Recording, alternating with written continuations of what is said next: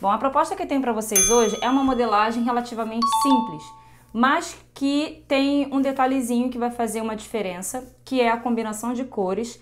Então, esse tipo de modelo, ele é, é conhecido como color blocking, né? Que é quando o, a peça é dividida em cores, formando blocos e trazendo um efeito visual bem interessante.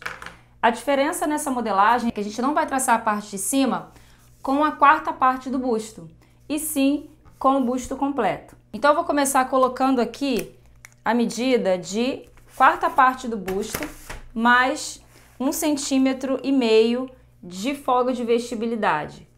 Eu vou colocar aqui é, um centímetro e meio porque o tecido que eu vou usar ele já tem elasticidade.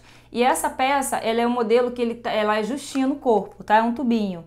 Então, eu preciso pensar nesse conforto, mas não um conforto tão exagerado, porque o tecido ele já vai me proporcionar uma leve folga, tá certo? Então eu vou pegar a quarta parte do meu busto, total dividido por 4, mais 1,5. E aí vai depender a sua folga, você pode colocar de 2 até 2,5, dependendo do seu tecido. Vou esquadrar aqui, vou colocar a altura da blusa que vai pegar até a altura do meu umbigo, tá? A parte superior eu tenho a parte superior, o cós e a saia. Então, o final do meu cós ele vai bater abaixo do meu umbigo. Então, eu vou colocar uma, a minha medida de, de altura de, de blusa até a parte de cima do meu umbigo, tá? Bem na parte mais curvadinha do meu, do meu corpo. E aí eu vou colocar aqui essa altura, esquadro aqui, tô traçando na quarta parte, mas eu vou replicar isso daqui para o outro lado. Então, aqui eu vou deixar o meu centro frente, tá? Deixar a lateral aqui para poder jogar outra lateral para o outro lado.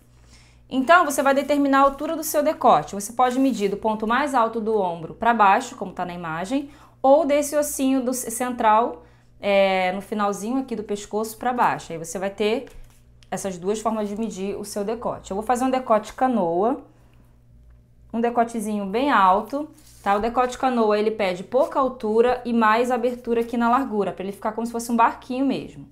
Então eu vou colocar 9 centímetros de altura, você pode colocar decote quadrado, redondo, V, princesa, fica a seu gosto.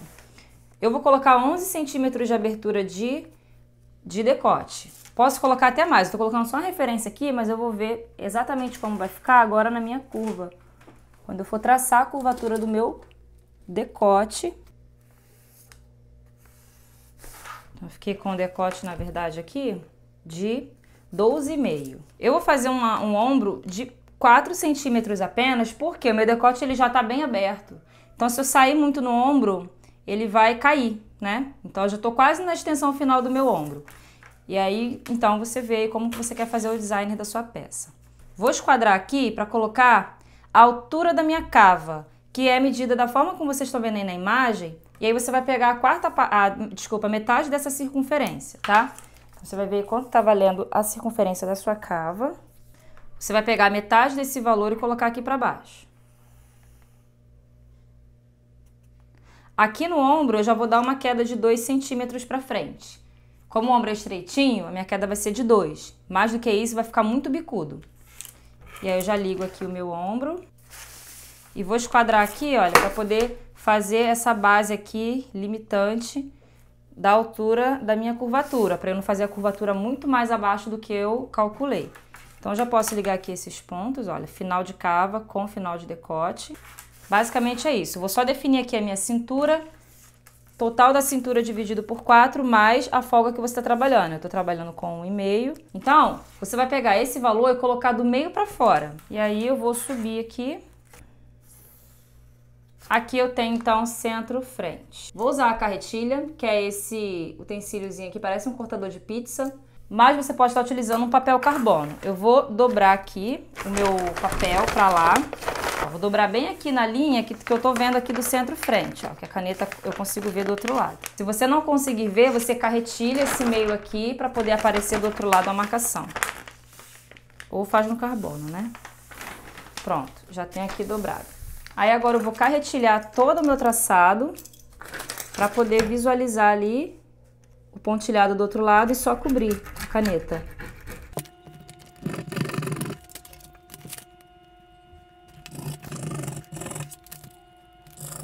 Pronto. aqui eu já consegui passar o meu molde aqui para outro lado. Você provavelmente não vai ver aí, mas eu estou enxergando todas as linhas aqui de traçado, então eu só vou copiar, só vou passar a caneta por cima para o molde ficar bem visível.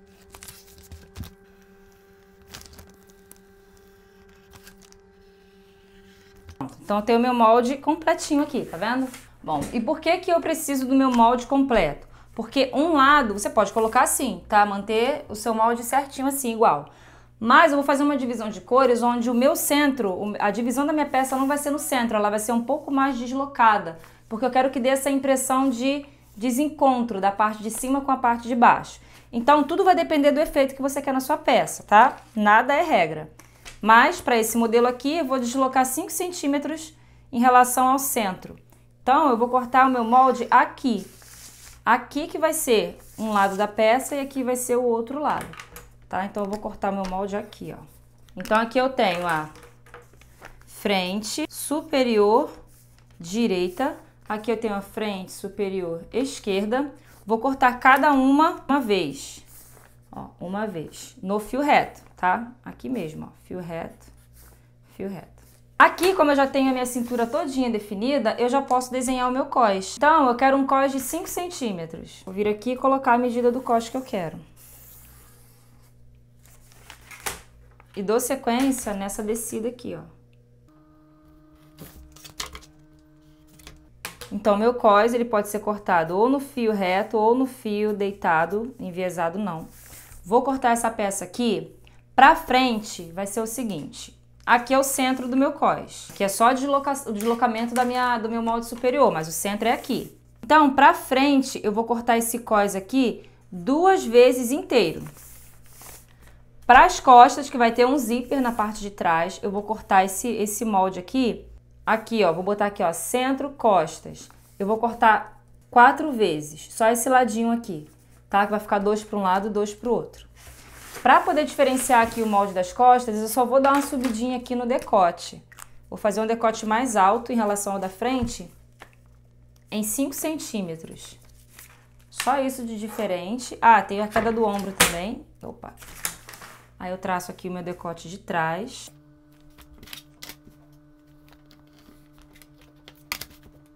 Você vê que o meio ele dá continuidade de um lado para o outro, não pode ter bico. E no decote das costas, Ai, desculpa, no ombro das costas eu tenho assim, ó. Eu vou esquadrar aqui para poder pegar esse eixo. Vai ser de um centímetro apenas essa queda. Aqui e aqui. E aí eu ligo.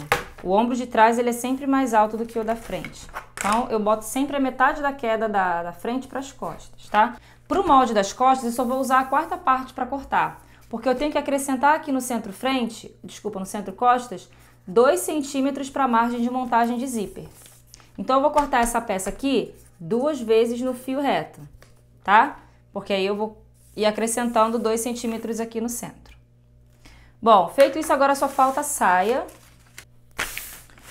Bom, a parte das costas, a gente vai fazer um retângulo partindo aqui da circunferência do quadril, dividido por 4, mais a folga que você está trabalhando, e o comprimento. Só que você vai ver o comprimento final da peça que você quer e descontar o que a gente já traçou.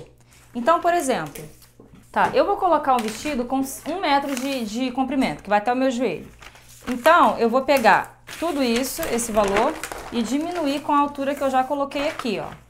Do ponto mais alto do ombro até o final do cós. Eu já tenho 49 centímetros aqui. Então, eu vou colocar 51 de saia, tá? Você vai completar o valor total da sua peça que você quer é, com a saia. Então, eu vou esquadrar aqui. E aí é basicamente o molde base da saia reta, tá? Não tem, não tem muita diferença, aliás, não tem diferença nenhuma. Vou colocar aqui, então, esse valor. Vamos lá. Eu tenho... Aqui a minha régua, ela já me dá o valor que eu quero de comprimento. Aqui, ó, 51 é o valor que eu quero final, só que eu já vou acrescentar 2 centímetros de bainha. A bainha eu gosto sempre de já colocar no molde. Só a folga de costura no contorno do molde que eu não costumo dar. Eu gosto de, de fazer isso na hora do corte, mas você pode acrescentar no molde ainda, tá? Aí você vai colocar a altura do quadril, que vai da altura da cintura até a curvatura lateral mais, mais acentuada do seu quadril.